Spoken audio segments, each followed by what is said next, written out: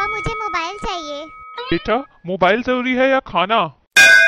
पापा मोबाइल ज़रूरी है। वो कैसे? पापा अगर मोबाइल नहीं होगा तो रेस्टोरेंट से खाना कैसे मंगवाएँगे? फॉलो कीजिए फॉलो कीजिए मुझको फॉलो कीजिए थोड़ा हंस लो